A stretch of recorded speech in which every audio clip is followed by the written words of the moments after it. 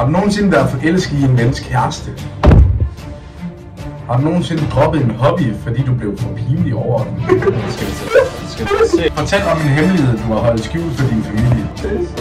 Hvad er den pinligste film, du nogensinde har grædt til? Hvem støtter mest op om dine drømme? Fortæl om en gang, hvor du øh, lavede noget øh, forbudt med dine venner. Hvem var din sidste flirt med? Hvad er den største misforståelse, du har haft på grund af en tekstbesked? Jeg siger tak for i dag.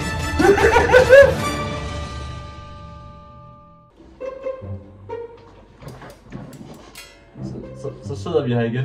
Desværre. Sandhed eller. Og, men reglerne, det er faktisk lidt anderledes denne gang. Vi får det samme spørgsmål, og så ser om vi sådan svarer på det, eller om vi begynder at hælde op. Så og den gang har vi altså ved os med en gin med 43 i. Og gin, det er det, jeg havde allermest alkohol. Hvad er det, du havde allermest?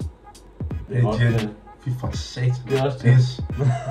Og sidste video, der sagde jeg altså også gin. Nu jeg så været bespurgt, hvad er det værste alkohol? Hvad for en slags alkohol hedder du mest? Jeg tror, det er gin. Det er svaret. Det er gin. Så det bliver den der. Så hvis du finder første spørgsmål, du skal svare på. Er der et tv-show, du er flov over at indrømme, at du ser? Nej, det er jeg faktisk ikke engang. Det tror jeg sgu heller ikke. Jeg skal vi altså... sådan sige, hvad vi ser, eller sådan. Det- Fordi jeg er sådan rigtig flov at være, så Det er heller ikke. Hvad er det vildeste print eller mønster, du ejer? 3D-print med plastik kan vi også tælle med. Og det har jeg ned af. Jeg har med en CS-kniv, kommer i et billede op her, er det sådan en. Og det er lidt en pil. Hvad er dit? Ellers skal du tage shot nu. Og så fører jeg eller noget. Det er min lejlighed, vi sidder i, så jeg kigger lige rundt for til. Det må nok være min cocktails øh, print deroppe. Der var alle mulige blandede cocktails på et print til øh, billedramme. Hvornår prøvede du at stå på ski eller snowboard for første gang? Jeg har aldrig nogensinde gjort det. Jeg har aldrig stået på ski Øhm. eller snowboard. Jeg har været ude at stå på ski sammen med min skolepatrulje fra folkeskolen. Det var første gang, jeg stod på ski. Det var ikke sjovt. Okay. Det var ikke sjovt. Det kan jeg forstå. har du nogensinde været forelsket i en vens kæreste? Nej, det har jeg ikke. Det har jeg heller ikke. Har du nogensinde playlippet foran spejlet? Altså sådan viser muskler og sådan noget. Ja. Ja. Det har jeg fandme mange gange. Ja, også, jeg har et billede på Instagram, det der, så det kan allerede gå derind og kigge, om jeg har gjort det. Det har jeg også, altså. Så kan gå ind på min liste. Hvad, hvad er den største ting, der holder dig tilbage fra at opnå dine drømme? Altså, der er ikke rigtig noget, der holder mig tilbage, for jeg prøver stadig at gøre det selvfølgelig. Men øh, det, der mest skulle gøre det, det er, at jeg ikke får nok tid til sådan noget som det her. For eksempel skole eller fritidsarbejde. Det tror jeg, det er det, der holder mig mest tilbage. Med tiden. Jeg har den her drøm om at være politibetjent, øh, og det kræver jo rigtig mange ting. Så det, der holder mig tilbage, det er vel nok alle de forskellige ting, du skal kunne, før du må komme ind til politiet. Ja, du skal være hurtig. Ja. Hvilken app ville du slette fra internettet, hvis du kunne? Hvis jeg kunne, men man kan jo altid slette den. Jeg vil slette Reddit. Ja, det vil jeg også. Hvordan definerer du succes? At man har opnået sin drøm. At man er jo succesfuld, at øh, man har oplevet det, man ville, og man har gjort det, man ville, og man faktisk har det liv, man ønsker sig. Ja, det er jo succes. Har du nogensinde oplevet noget overnaturligt? Fortæl om det. Åh, oh, kan jeg Jeg tror, jeg har, ja. Jeg har i hvert fald. Ja, du kan lige sige det først. Jeg var ude med nogle kammerater og for sjov ghost hunt. Så kommer vi ind i øh, et ret øh, spooky sted, sådan en meget mørk, øh, efterladt øh, gammel gård.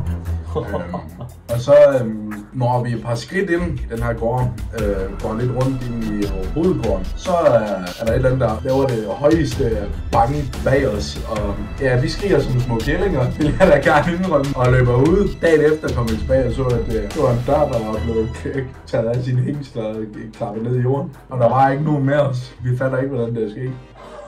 Om det kan være rød Var med hængsler eller... Var det også noget med, da du var lille, så havde du også en Lego-kasse, som der var ned? Ja. da jeg var mindre, der lå jeg og sov inde på min værelse. Havde jeg sådan en Lego-kasse på.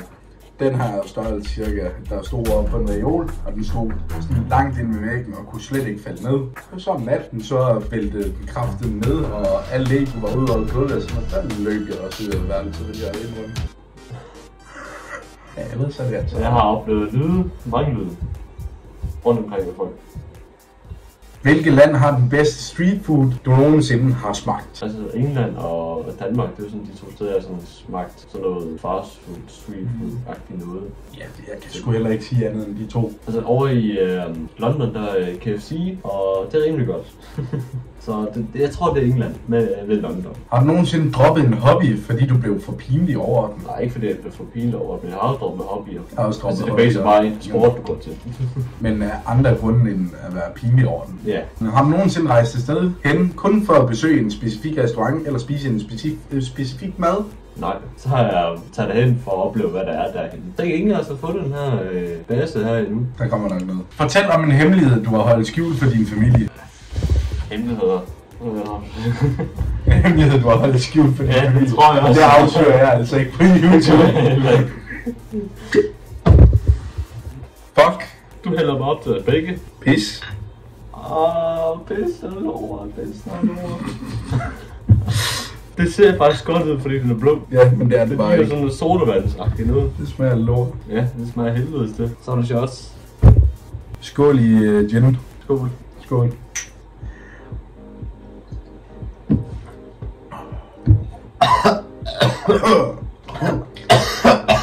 Fuck, du har ret. Det smager som at slikke på et fucking græntræ. Ej! Høj! Det smager lidt lidt. Har du nogensinde sagt noget upassende, fordi du troede, du havde slukket for din mikrofon? Jeg ved ikke, om jeg har sagt noget upassende, men jeg har glemt at slukke mikrofonen nogle gange. Ja. Men jeg har ikke sagt noget upassende. Jeg har også glemt at slukke min mikrofon, men altså, jeg har ikke sagt upassende ting. Har du nogensinde prøvet at overvinde en frygt? Hvordan gik det? Min frygt, det er havet. Kom i det vand, der er ved stranden, og generelt ude, hvor bådene sejler. Bare havet. Det er min store frygt, og jeg har prøvet at være det nogle gange, så jeg har ikke... Man kan godt sige, at det har jeg prøvet, nogle har været derude. Jeg vil ikke sige, Men det har ikke virket. det har ikke virket. Det er stadig min største frygt. Jeg har sgu ikke overvundet nogen af mine frygte, og en af mine frygter, det er højder blandt andet, men det er først, når det kommer langt, langt op. Har du nogensinde oplevet at blive for fuld? Nej. Nej, faktisk ikke engang. Heldigvis. Hvilket overnaturligt væsen ville skræmme dig mest? Det er dem, der kan være i havet. Det er hvis man ser shorts-videoer, eller TikToks for eksempel, eller bare generelt videoer med folk, de er sådan overnaturlige, kæmpe væsener i vandet, så er det det. Jeg tror nu, det ville være en dæmon, der ville skræmme mig mest. Hvis en dæmon fandtes, så ville det nok være en jeg vil hellere jeg vil mere skide bukserne, hvis jeg var i vandet, og det der kom, end jeg vil have en dæmon, der kommer ind på rummet. Hvilken bog har du undgået at læse, fordi den skræmte dig? Jeg har faktisk ikke rigtig undgået nogen bøger. Eller jo, jeg har undgået bøger, men så ikke, ikke hvis det var skræmmende. Det har jeg ikke. Er der en frygt, du skammer dig over? Nej. Nej, det skræmmer ikke over, for alle har en eller anden random frygt, der er mærkelig. Hvem støtter mest op om dine drømme? Min familie. Ja, familie og venner. Hvad er den pinligste film, du nogensinde har grædt til? Skal vi sætte, skal vi serie med i den også? Film og serie. Ja, så tager vi serie med. Så, så må det nok være... Jamen, det har aldrig sådan en grædt grædt. Der har været en tår ud, eller to. Det er faktisk en film. Mm. Træn som drage, hvor faren dør. Og det er mange år siden, jeg har set det. Jeg vil sige, øh, den der dragefilm, der hedder Raya, hvor at, øh, dragen, som hun er sammen med Sisu, bliver skudt. Hvad er den mærkeligste træningsvideo, du har fulgt? Jeg har fulgt nogen på YouTube. Det er nok det. Sådan, jeg har aldrig fulgt alle, hvor jeg er sådan nogen, jeg kender der hjælper, men ellers med videoer, så jeg har kun set nogen på YouTube. Jeg tror aldrig, jeg har fulgt en træningsvideo, men jeg har set dem for at få inspiration. Vel? Jeg kan så ved om det er mærkeligt. Man skal jo lære mærkelige øvelser, hvis det er sådan noget. Hvordan, hvordan træner man hjemme? Har du nogensinde ødelagt noget og givet skylden til en anden? Det ved jeg ikke, om jeg har. Jeg kan ikke huske, hvis jeg har, så er fordi, at jeg måske gjort på en af mine søskende, mens jeg var lille. Nej, det har jeg ikke. Har du en hobby, som har kostet dig en formue? Jeg har ikke en hobby, der har kostet mig nogen penge. Og jeg tror, jeg tror, jeg har med YouTube brugt penge på alt muligt, jeg skal lave til videoer. Har du nogensinde trænet, mens du var beruset? Nej. Det har jeg sgu heller ikke. Kom ind i fitness med den her. Ja, det, det er sådan, jeg skal træne.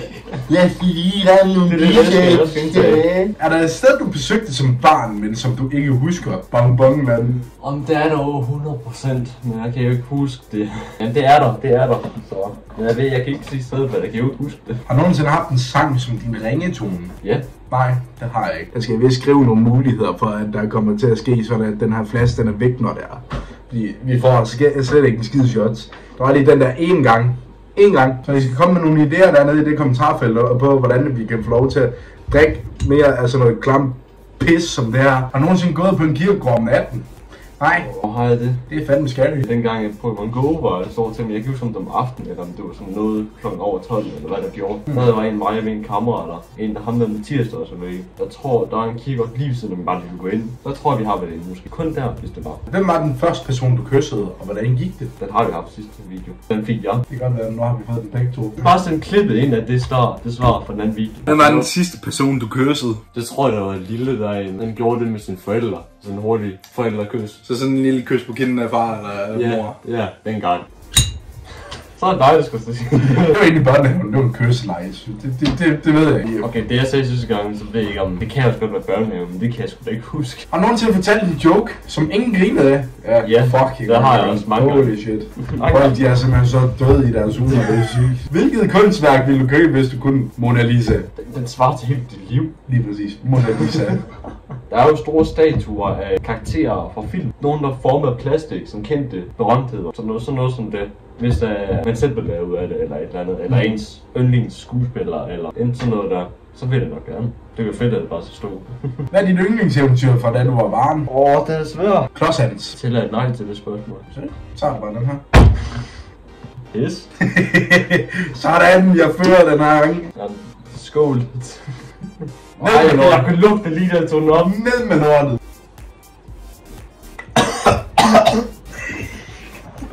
Åh, det er godt, det ikke er mig, det der. Har du nogensinde været jaloux på et familiemedlem? Det har man jo nok som lille, når en storbror eller storsøster eller lillebror eller lille søster har fået noget, man ikke har fået selv. Øh, Så har jeg jo jaloux med, at øh, jeg tror, min søskende har fået højtaler, og jeg, var, jeg måtte ikke få højtaler dengang. Hvilken berømthed ville du helst ikke sidde fast i en elevator med? Der blev spurgt sidste gang, hvad den tåbeligste berømthed ja. Der sagde jeg jo Amber Heard, altså Jan Jeffs eks, så den var nok med hende.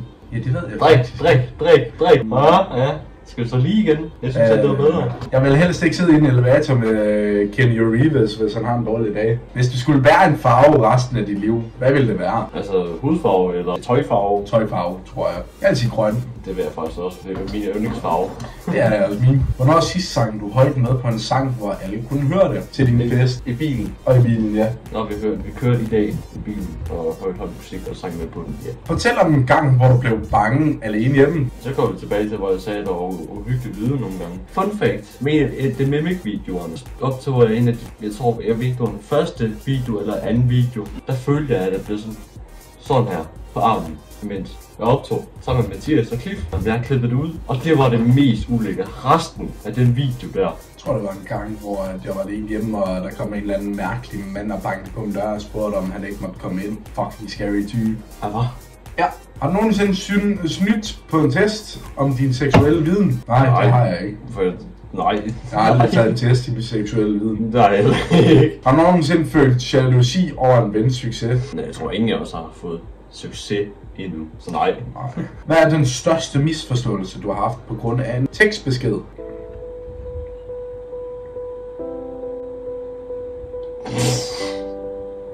Jeg hænger lidt på den her.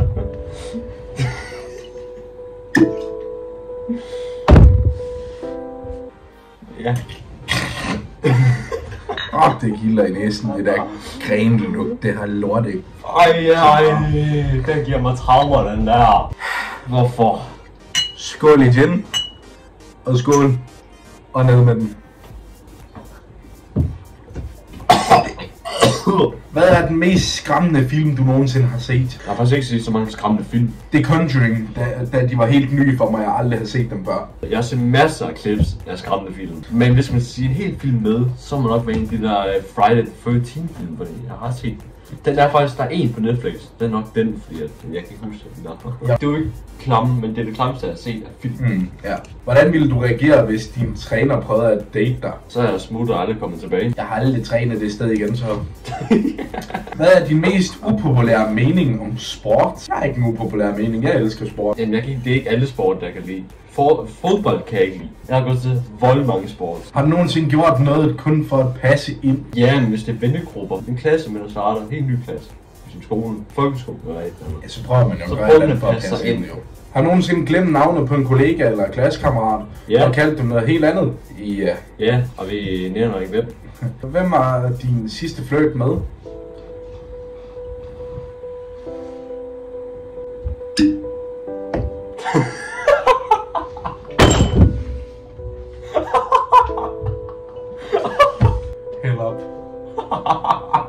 Det kan jeg simpelthen ikke sige. Det skal jeg heller ikke sige. Så har vi din kugel karamel, og så skyller vi efter med den. Ja, fordi det... Sodaen, den hjælper ikke mere lige nu. Skål i gin. 3, 2, 1 skål for den.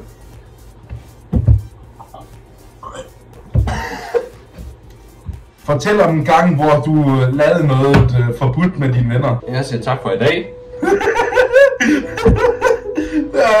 Det Der, der er et chok mere på vej. Jeg tror godt, jeg kan svare på den. Det kan du ikke, nej. Det, det vil du have på YouTube. Jeg skal nok hælde lige lidt. Skål i gin. Jeg tror godt, at den kan fjerne lidt af smagen. Skål i shot. Skål i shot. 3, 2, 1, ned med det.